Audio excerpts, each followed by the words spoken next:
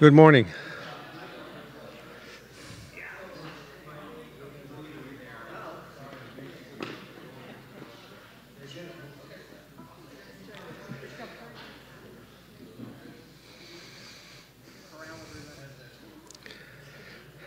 Good morning. Good morning. Good morning. Those of you up front can hear me. Can those behind? Yeah, okay, good. There we are. Right. Welcome. Welcome. Glad you're here. Uh, we're getting ready to begin. And many of you have gravitated over to the, well, there's a lot of product over there. And uh, as Patty rightly said, there's something for everybody over there. So check out that uh, the products over there and, uh, and hopefully you'll walk away with an item or two. Well, I want to uh, begin with prayer. Uh, and before I offer prayer, though, I want to uh, make sure that uh, you have an understanding of, of our love for Dr. Joseph Kezele and his wife Patty. And uh, they've been coming faithfully down here or sending someone's down to this area to help us uh, learn more about uh, creation science for the last 10 years. And so uh, excited to see them back. And so he'll be able to tell you more about who he is. He is president of the Arizona Origin Science Association, uh, otherwise known as AZOSA, and uh, he can talk more about that. But anyway, let me offer prayer and then we'll begin. Father, thank you for uh, for your grace to see us into your house today, and in particular, Lord, to to be to be students, uh, students of what your word teaches us and how that marries with the science that you have created. And so, thank you for uh, what you're about to teach us through your servant Joseph. Blessings on he and and Patty and, uh, and their ministry to us today. In Jesus' name, amen.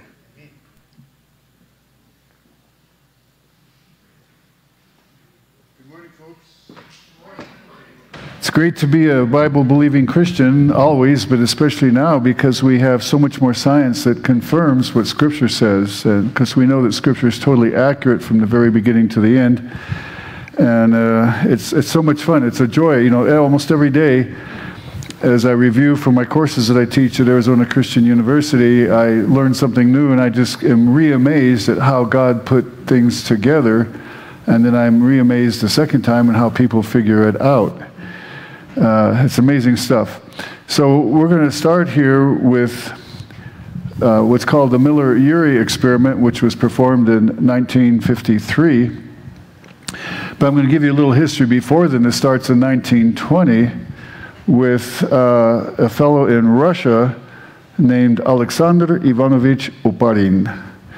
And he was a chemist, and he, being a uh, secular scientist who was in agreement with you know the communists saying that there's no God, everything happened by itself, was eager to try and come up with the beginnings of an explanation how non-living chemicals could evolve into biological molecules which eventually would come together to form life. And, and the evolutionists have been trying to figure this out ever since. But we know that it didn't happen, so it's a futile effort on their part. But what's nice is along the way, they keep learning more and more and stuff, which just simply confirms what Scripture says and proves that it had to be supernatural creation of life.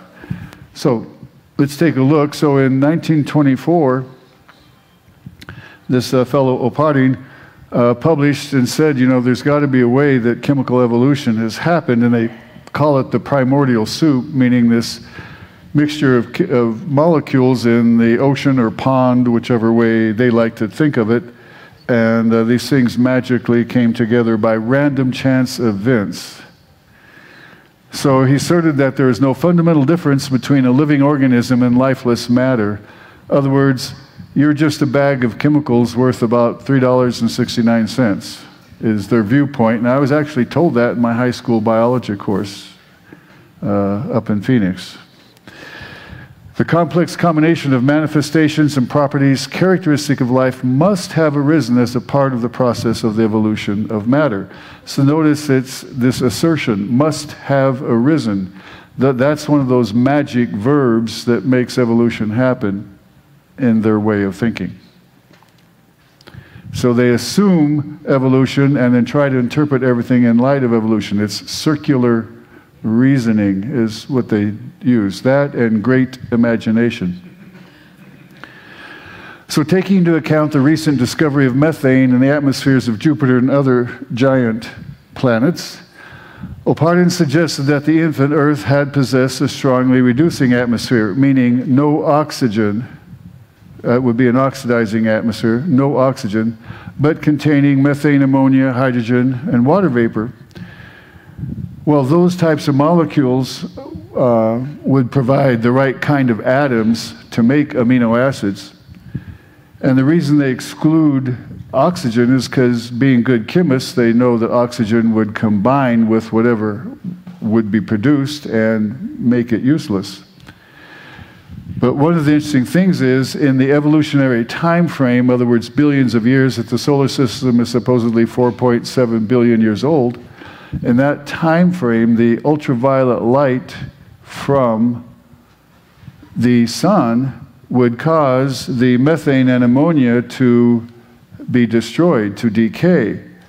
And so that doesn't work. That's another big strike against their way of trying to have this explained by natural means. So he said that the first only simple solutions of organic matter, the behavior was governed by the properties of the component atoms, arrangement of these atoms into molecular structure. So what he, was trying to say was it's the inherent nature of these molecules that made chemical evolution happen. But again, that's all assumption and it actually has no basis in fact.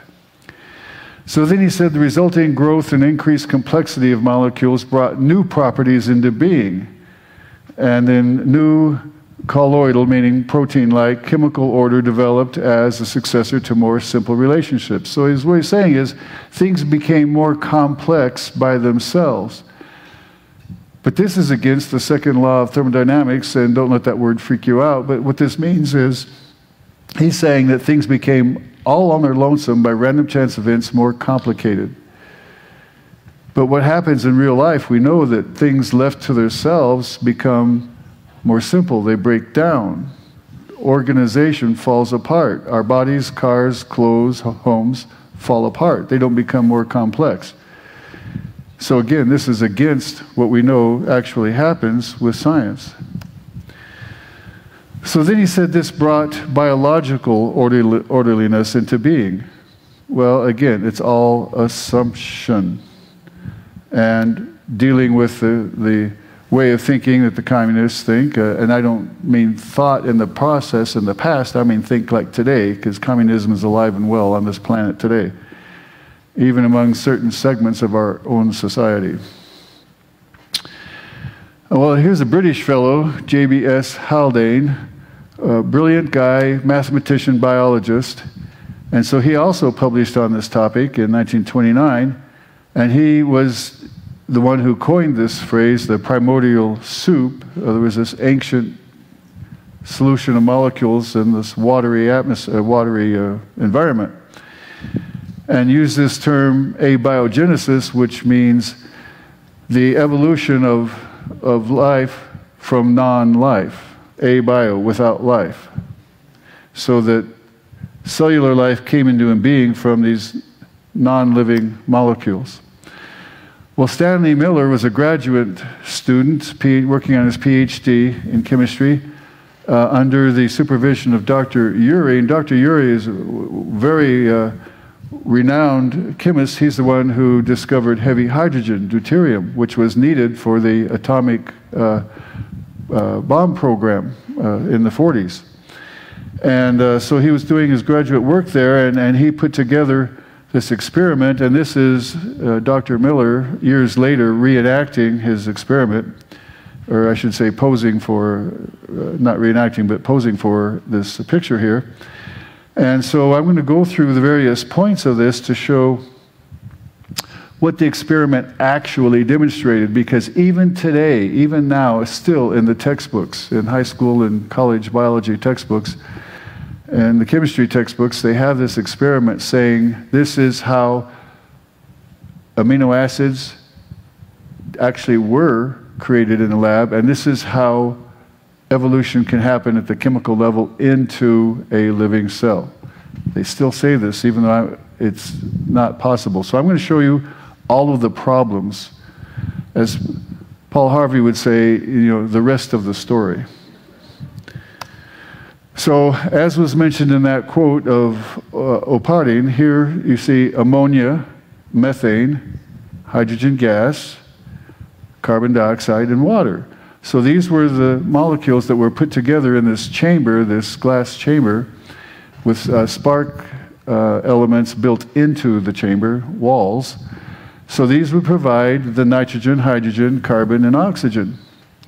Now, the oxygen in molecular form, in other words, O2, the oxygen that we breathe in the atmosphere, the air in this room and the atmosphere is 21% oxygen.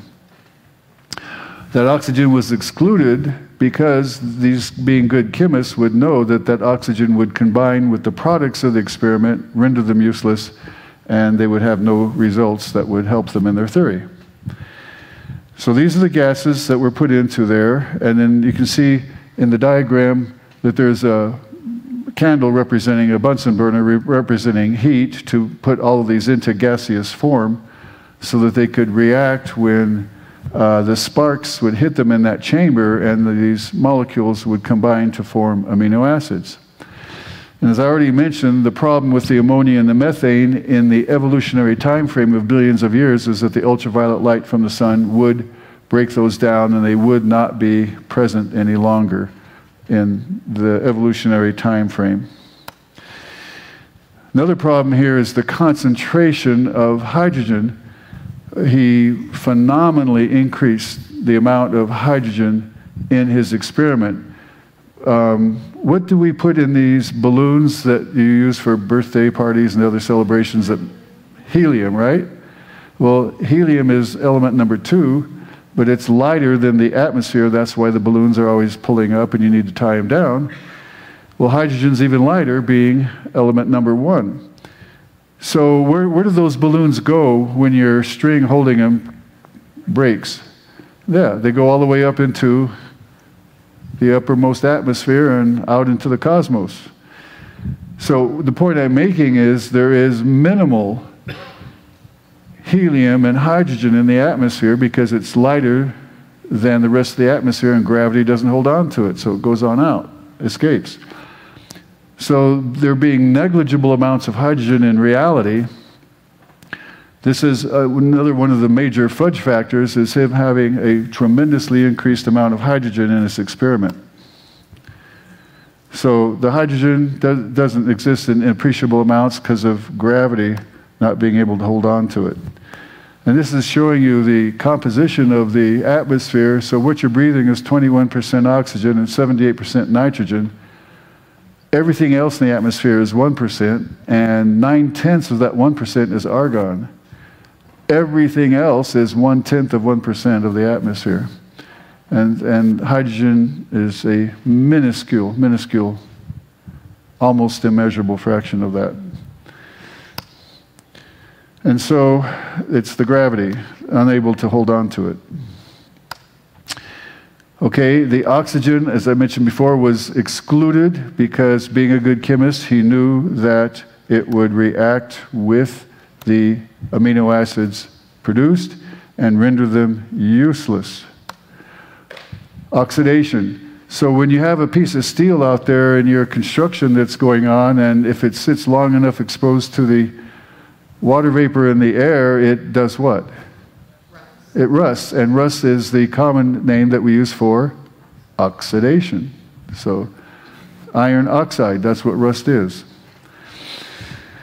So, amino acids were formed here, and you see a list of amino acids in the far right portion of this uh, diagram, that those were what were uh, produced in the experiment, and the ones that are in the gray uh, uh, rows are the ones that we actually have in our bodies. Those are biological amino acids. The other ones are not used in our bodies, uh, at least not for structural purposes. And uh, only less than 2% of the products of the experiment were amino acids. Uh, but with uh, this could happen only with the absence of oxygen in the form of O2. So that's why it was excluded. And then here's a, a quote from a secular scientist saying the only trend in the recent literature is a suggestion of far more oxygen in the early atmosphere than anyone could have imagined. Well, what they're talking about is investigating the rock layers.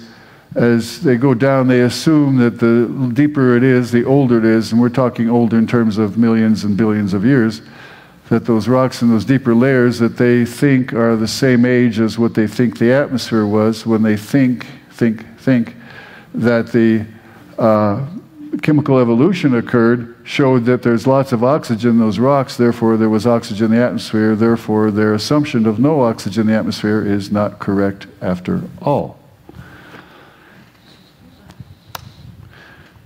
All right, so here we have an atmosphere with no oxygen, since they assume there's no oxygen. And so here's a representation of the Earth, and that uh, pale blue band around the Earth represents the layer of ozone and the very, very high layers of the atmosphere, the stratosphere. And those of you who have gray or white hair like me remember when, uh, I guess it was the 80s, there's, you know, every decade has its own disaster that's going to wipe out the Earth. And I think it was the 80s when the ozone layer, we were going to die from that disappearing because of the uh, molecules in our spray cans. Well, the ozone is real, and the ozone does protect us. Uh, and it's instead of O2 atmospheric oxygen, it's O3, three atoms of oxygen in one molecule. And so its job is to protect us from that ultraviolet radiation from the sun. So the problem for the evolutionists model here is assuming an atmosphere with no oxygen, there's no protection against the ultraviolet light. And so any molecules that would be produced in this primordial soup would be destroyed by the ultraviolet light. Okay? So what you end up with is crispy critters. Okay? All right? So the thing is, life cannot form spontaneously with oxygen because the oxygen will combine with any molecules produced out there, and life cannot start without oxygen because of the protection necessary for the ozone. So we win, they lose. Okay, another issue is using this constant electrical current uh, from the spark chamber as a means of causing the molecular reactions to occur, providing the energy to make these uh, components combine to make amino acids. That's not really realistic uh, comparing to uh, lightning uh, tremendous intensity in lightning compared to a little spark chamber there. But because of that intensity, that brings the next issue, and that is a condenser and a trap. So, the, by condenser, it means that there was a source of very cold water that was uh, then piped into a jacket around the tubing here to cool down the gases so that the products made in the experiment, the amino acids, would then leave the spark chamber and then go into the trap so they would be protected from being destroyed by the electricity that made them. All right? So, you know, I mean, this was a very well thought out experiment. So, if you're out there in the primordial soup and the lightning comes along and zaps and, and causes the molecules to be put together, the next lightning zap can cause them to be destroyed as well. So, that's why the condenser and trap was put into the experiment. So this, I call this cheating, uh, to uh, protect from the electrical discharge. So what was actually produced? Well, mostly toxic byproducts. 80% of the experiment uh, produced tar. Okay, like the stuff we drive on, you know, when they repair roads, asphalt, tar. Or the stuff you get in the cigarettes uh, if you smoke, you know, you're getting that tar, which we know is great for causing cancer. So 80% was tar, and then formic acid was another significant product of the experiment. And I will bet there isn't a person in this room who has not had personal experience up close with formic acid. Do you know what I'm talking about? Ant bites, that's right. That's right. Formic acid, that's what the ants inject into you when they bite you. And it stings. Yeah, it really does. So formica or formica is the Latin word for ant. Some of you, if you speak Spanish, hormiga. ant. See how the, the words are related. Well, amino acids were produced, but what kinds of amino acids? You know, there are different ways to categorize amino acids, such as whether they have no charge, uh, they have a uh, some polarity, or they have an actual formal positive or negative charge. Another way to categorize them is whether they dissolve in water or in oil. And so, roughly half of the amino acids we use dissolve in water, and the other half in oil. But the ratio produced by this experiment, they almost all were the ones that dissolve in oil uh, or fat. And so um, the wrong ratio of the kinds of amino acids uh, were produced. And then there's this problem of handedness. Okay, so I want everybody to take your two hands, put your fingertips together in front of your face, like so. And you can see that the hands are the same, but they are the mirror images of each other. And so if you separate your hands and lay one on top of the other, you can see that they don't jive, they don't fit. So, being a mirror image of each other, it's very important whether it is a left handed amino acid or a right handed amino acid. Because in our structural proteins, all of the amino acids are left handed. All of them. And you cannot use one right handed amino acid in that structural protein, it'll mess it up. Well, when you have this kind of experiment, what's going to happen just naturally is you'll get 50% left handed and 50% right handed. And so that is a very major problem in addition. See, all these problems they don't tell you about in the textbooks. All these problems. So that so therefore you can't get a protein to be made because of the wrong handedness. So only the left-handed amino acids in structural proteins. And so here is an image of what I just had you do with your own hands uh, with the left and right handedness here. And there's over 2,000 types of amino acids, but there's, depending upon if you count early stage of life or not, there's 20 or 21 that we use in our structural proteins. And um, here it's showing the mirror images and so if you get the wrong handed amino acid in there, you're messed up. That's the technical word for these mirror image molecules in enantiomers.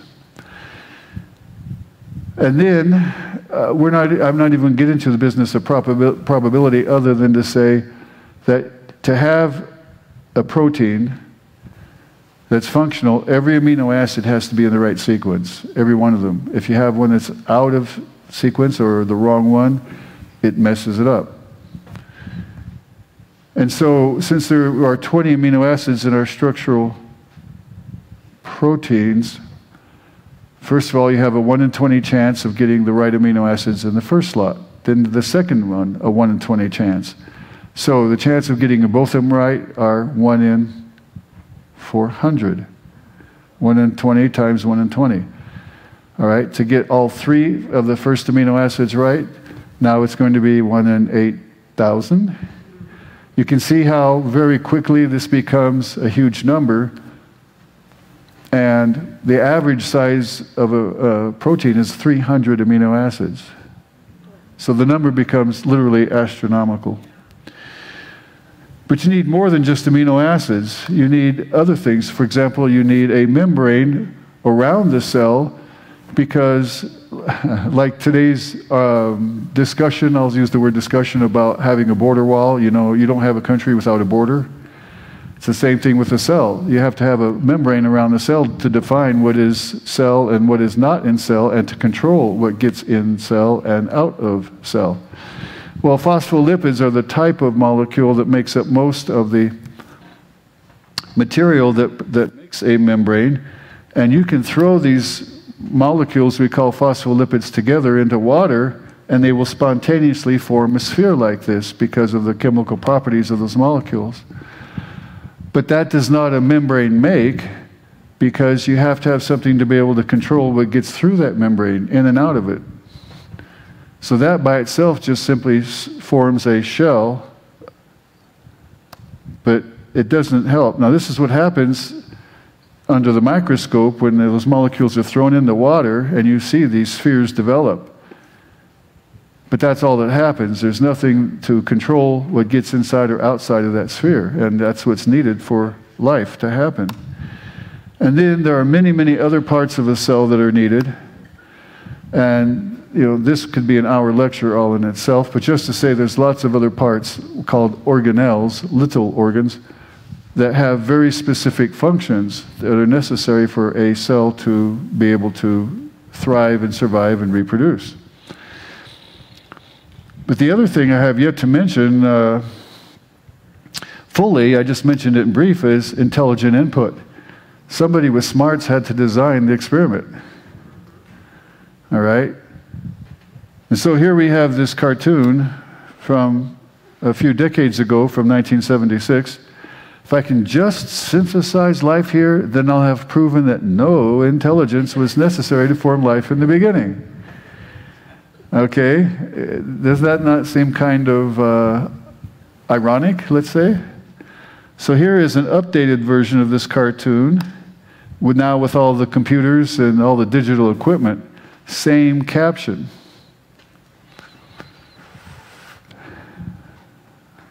So there has to be intelligence.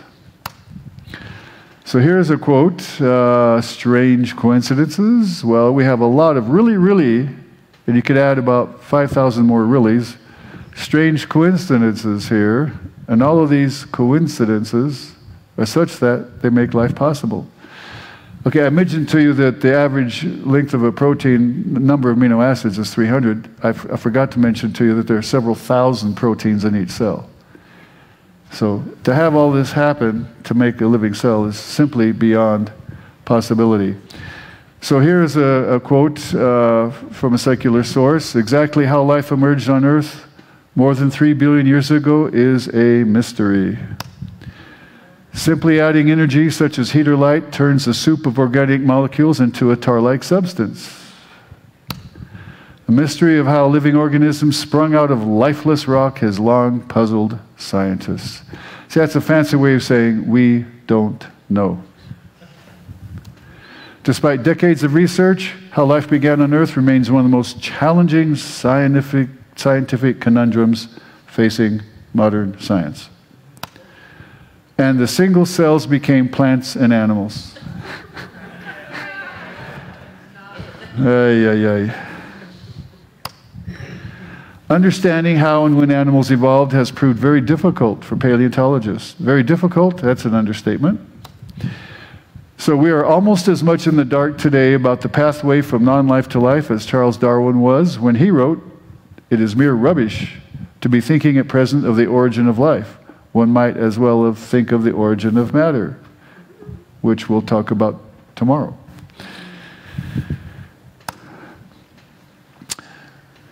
There may have been minerals on the early Earth that released such phosphorus nitrogen compounds under the right conditions. Astronomers have found evidence for phosphorus nitrogen compounds in the gas and dust of interstellar space. So it's certainly plausible that such compounds were present on the early Earth and played a role in the emergence of the complex molecules of life. I love the certainly plausible. Certainly plausible. Okay, well, this person does live in an alternate universe. All right. So here's what happens. In the 2016 paper published in Nature Chemistry, Jack Szostak, a Nobel Prize laureate and professor of genetics at Harvard, claimed that he had discovered a way for RNA to replicate itself, to copy itself. A powerful proof, proof for the evolutionary model of the beginning of life. One of his colleagues tried to replicate his results. You know, what part of the scientific method is to see if you get the same results under the same conditions, see if this is really for real, reproducible. That's part of the test of the scientific method. But he tried but could not replicate the results. After that, Szostak admitted that his results were inconclusive. In retrospect, we were totally blinded by our belief in our findings. Ooh. So he was forced to admit that. we were not as careful or rigorous as we should have been in interpreting these experiments. Well, when you really desperately want to have proof for something, you believe whatever you can to have that confirm your desire and the thing you want to believe. We all do that in one thing or another, but these guys make a profession out of it. So, subjecting amino acids to repeated, these are more recent attempts of trying to figure out other ways to explain how amino acids can come into existence uh, naturally with no supernatural creation going on. So, subjecting amino acids to repeated wet dry cycles could have been a good recipe for cooking up, I like the pun, cooking up peptides and proteins, peptides meaning amino acids and proteins on the early Earth, as hot sunny days interrupted by occasional rainstorm seem like reasonable weather patterns. But a major criticism of this process is the reliance on unpredictable storms that may have watered down the ingredients. See, and that brings up another point. By having more water, you make the solutions less concentrated, and so the molecules would be more. Uh, difficult in finding each other. But no one ever talks about the products, these amino acids, interacting with other stuff in the primordial soup. No one ever talks about that, which would certainly mess everything up as well.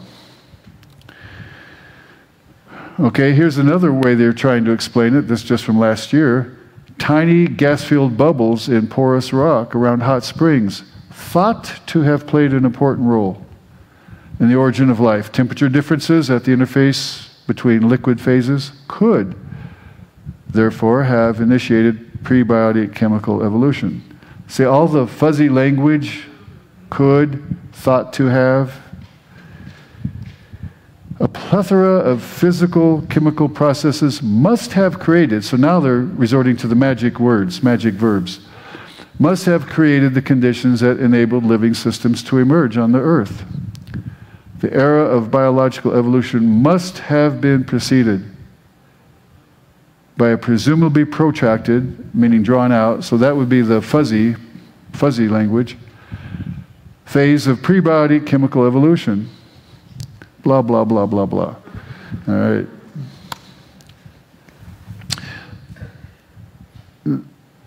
Now, I don't know to me whether they prefer a pond or an ocean, so what? But you know, some prefer ponds, some of them prefer oceans. Beats me. Scientists believe there could have been enough lightning crackling through the atmosphere. Okay. Well, there's lots of problems for the evolutionary model. It's it's all random chance stuff. It's all speculation, and it's you know it's against the laws of science. Again, with the lightning, it would destroy what it would make. So here's the business of the hot dry cycles, uh, uh, how they're trying to say this might make amino acids bond together, alternating wet and dry. Another theory here is that radiation from radioactive elements in the soil would provide energy to cause chemical reactions to happen. Uh, they also talk about here it's possible that some, some of these molecules that are made in chains, how they manage to get the chains together, would then act like enzymes. Enzymes speed up chemical reactions. So it may be reasonable to assume, so there we are, assuming once again, modern organisms may not be very similar to the first organisms. And so what they're saying is, since we can't figure out how this happened with the laws of chemistry and physics that we know now, maybe there was something very different that went first, and then it became what we know today. See, lots of hopeful, wishful thinking. Okay, so here's a situation where protoenzymes, meaning first enzymes, saying there must be some kind of a molecule which would speed up these chemical reactions to make them happen. And so they dream up these various things uh, seeing if they might actually have done something, and so that they can get the results of some proteins from the amino acids. And so these are various structures that they would like to see acting as enzymes, but look how complex these are. You know, these are not things that would just fall together very simply. And you also have to have the right temperature for a chemical reaction to happen. You have to have the right acid base balance. That's what the pH means the right amount of acid base product. So, yes, you can get these kinds of things to happen, but again, it took intelligence to figure all this stuff out and put it together. So, proteins are chains of amino acids. They form structural components, function as enzymes. Proteins also act as transport molecules, for example. Um, you have something called albumin in your blood, which is a general transport truck. Hemoglobin transports oxygen, ferritin transports iron in the blood, lots of those. So there's many different functions for proteins. Um, it, besides making up the structural parts, making up the hair or the skin or the muscle or parts of the bone. So here we are. The probability, as I mentioned, with the getting the right amino acids together, just for 100 amino acids, it, the probability is 1 times 10 followed by 130 zeros. That's fun, and that's just for one lousy protein. Not even of average size. Not even of average size. So multiply that times the thousands of proteins in each cell it, it simply is mathematically impossible. Again, only left handed amino acids are used in structural proteins, and just one wrong one can cause disease or death. That's what we call mutations. When you get a mutation in your DNA, it causes the wrong amino acid to be put into a protein, and then death or disease. Very well known example is sickle cell anemia. The number six amino acid, valine substitutes for glutamic acid, and you get the wrong shape of the hemoglobin molecule, which makes the wrong shape of the cell into the shape of a sickle instead of a hockey puck. Plugs up the uh, capillaries. Oxygen can't get to the tissues. Tissues die. Patient does not do well. So, did life start in the oceans? Well, even now, the evolutionists are saying pond or ocean. Some of them are realizing, no, this is not possible. Why? Because water will break down the DNA. Hydrolysis means water breaking. Water will break down the DNA. The DNA will dissolve in the water. So now, what do they say? What's the alternative here? Well, now they're saying to form crystals in clay. DNA crystals in clay. So it becomes more and more improbable as they try to deal with the realities of real chemistry.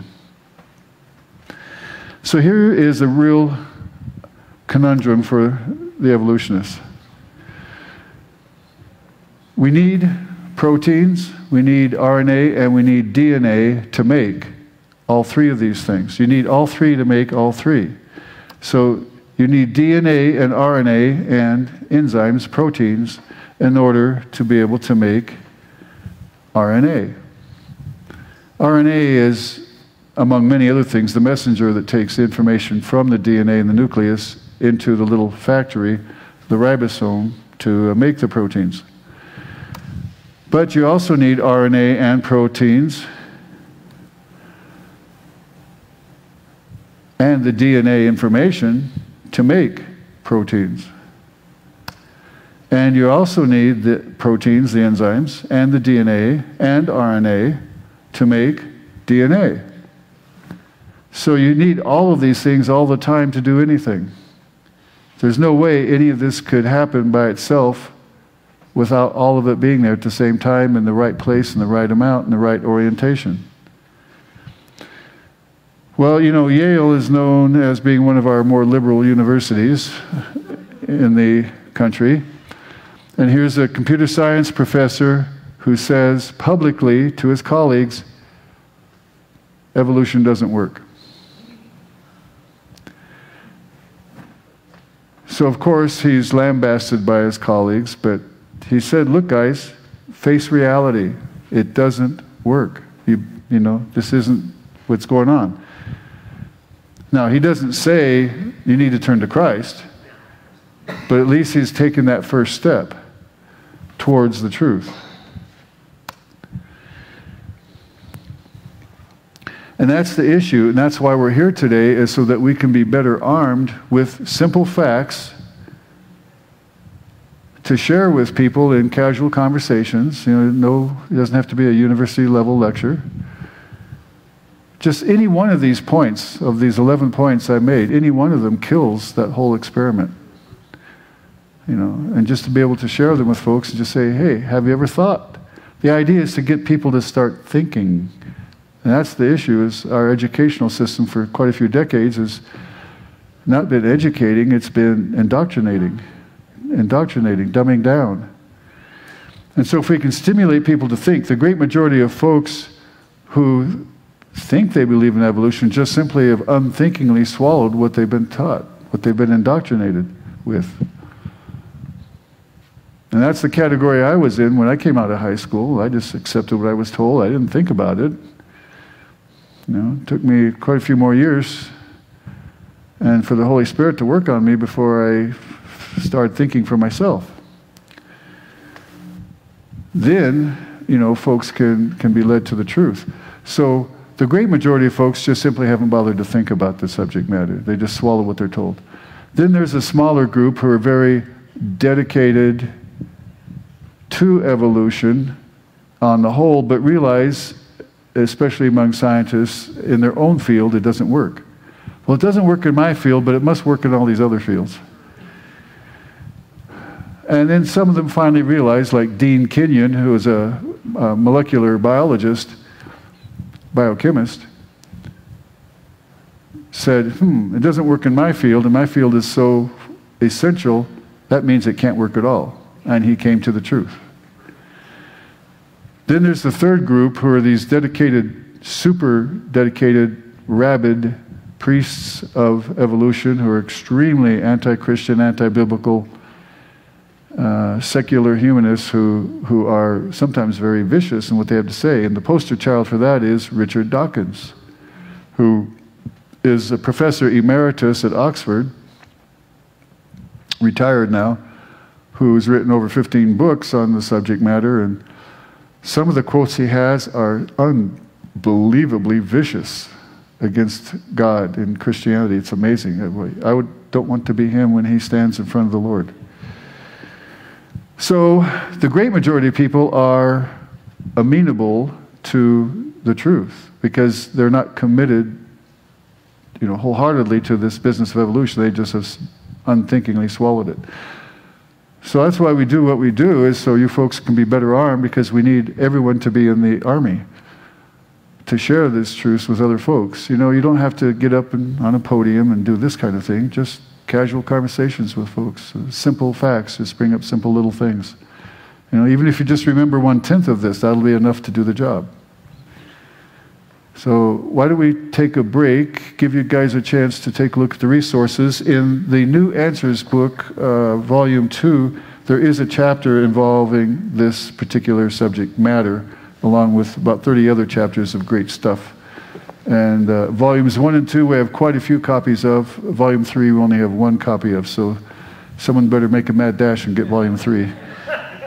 And be, don't, don't snooze, don't lose.